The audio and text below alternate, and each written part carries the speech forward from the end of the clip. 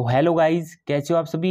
आज इस वीडियो में हरियाणा बोर्ड टेंथ और ट्वेल्थ क्लास का रिज़ल्ट के बारे में आज इस वीडियो में आपको कंप्लीट बताऊँगा कि रिज़ल्ट कब तक आखिरकार डिक्लेयर हो जाएगा। तो वीडियो को एंड तक ज़रूर देखिएगा। तो डियर स्टूडेंट आपका जो रिज़ल्ट है 2017, 18 और 19 में रिज़ल्ट हुआ था आपका मई में। मई में डिक्लेयर हुआ था 20 और 21 में आपका रिज़ल्ट था वो जुलाई में डिक्लेयर हुआ था।